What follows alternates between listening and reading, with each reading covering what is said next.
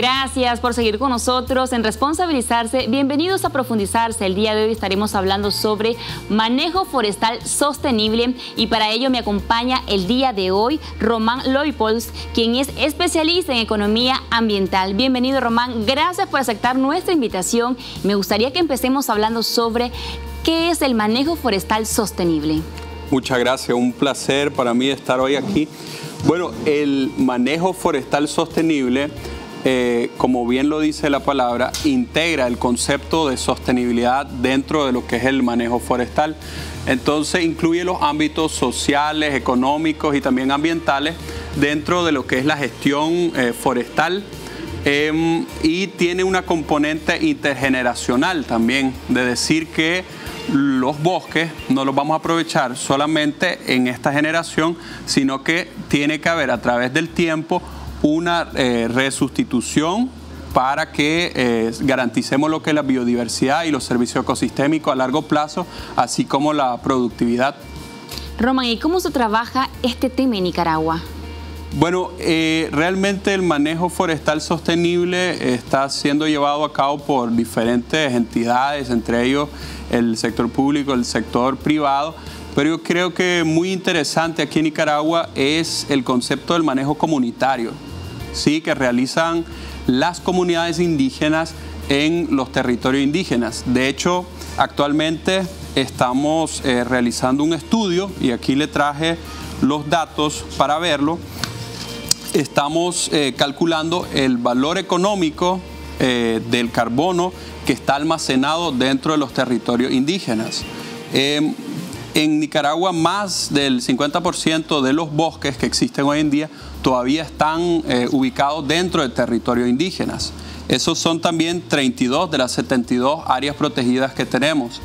Entonces, eh, más al norte tenemos lo que son los bosques de coníferas, lo que eh, yo les decía a los colegas economistas que, no entienden mucho de la materia, los arbolitos de Navidad, para que uno entienda, y los bosques latifoliados, que son de hoja ancha y estos almacenan eh, diferentes cantidades eh, de, carbono, de toneladas de carbono por hectárea.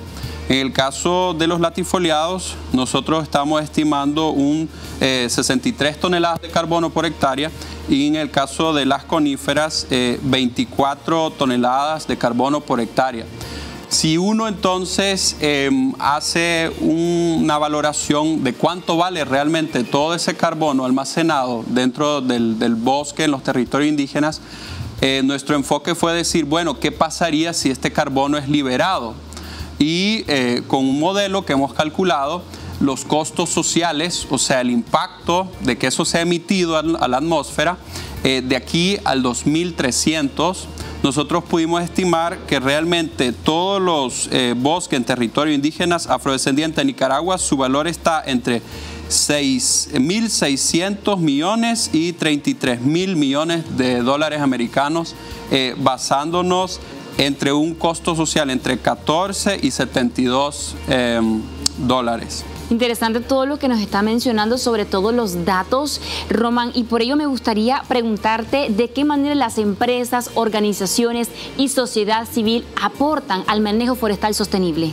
Sí, em, realmente hay, un grupo de sociedad civil que está trabajando, por ejemplo, con eh, eh, territorios indígenas que están manejando eh, bosque, están las certificadores forestales, en el caso de Nicaragua tenemos el FSC acá, el, em, capítulo nacional es el CONICEF, que está trabajando, por ejemplo, con los chorotegas en los bosques del, norte del país.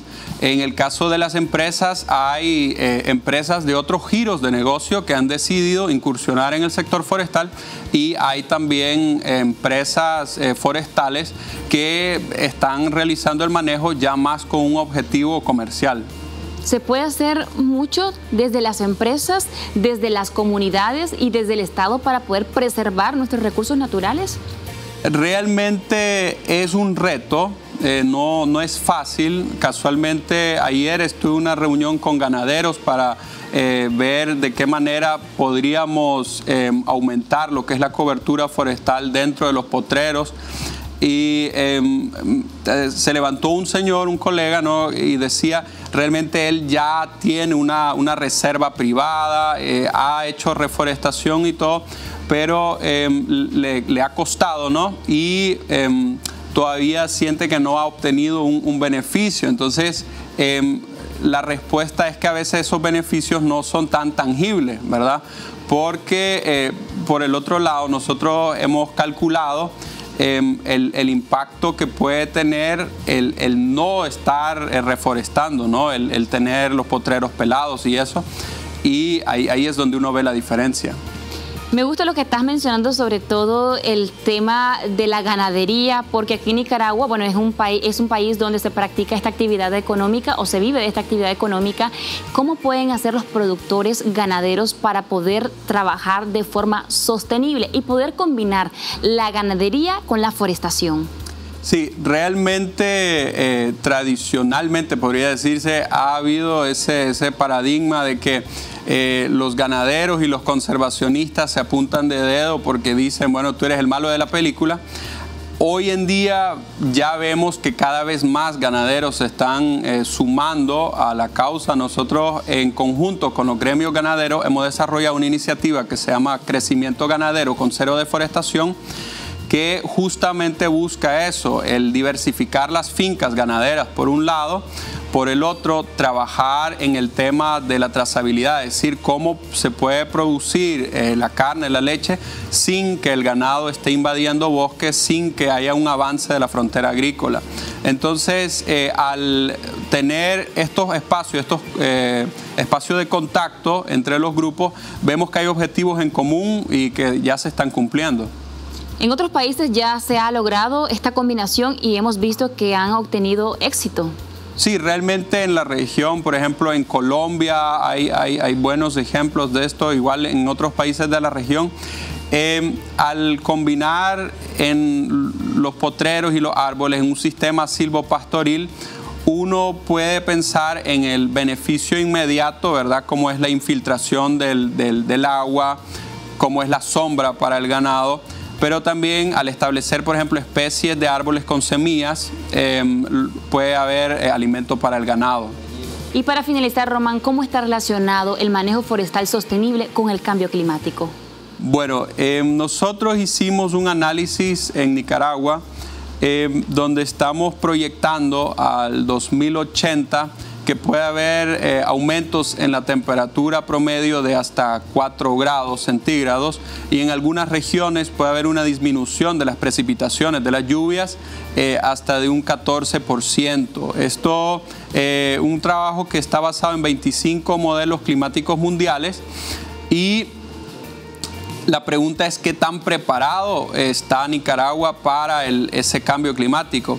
Em, se sabe eh, que los ecosistemas, bajo un enfoque de adaptación basada en ecosistemas, pueden servir para que el sistema se adapte. Por ejemplo, si sube la temperatura y yo tengo un árbol en potrero, ese ganado ahí puede buscar sombra y em, eh, realmente eso le reduce el, estrés y mejora su rendimiento de leche. Los eventos extremos, huracanes, ¿verdad? Si aumentan de frecuencia o intensidad, eh, los ecosistemas trabajan como una barrera natural. Los sistemas de manglares, por ejemplo, en la costa, eh, pueden evitar de que oleajes entren más tierra adentro. Entonces, los ecosistemas en ese sentido nos brindan una, una serie de, servicios que nos van a ayudar a adaptarnos a, estos cambios. Gracias, Román. Realmente es un tema interesante y se puede hacer mucho partiendo de acciones también en, en, beneficio o en conservación a nuestros recursos naturales. En este caso estamos hablando sobre la Florán. Gracias por habernos acompañado el día de hoy. Realmente me encantó haber conversado con vos y llevándoles esa información hasta sus hogares. Si usted es empresario, si usted es agricultor, productor, espero, espero que les haya gustado las recomendaciones y la entrevista del día de hoy. Con esta información nos vamos a ir a una pausa comercial y regresamos con mucho más. Después de este corte tenemos el segmento Innovarse. Quédese con nosotros.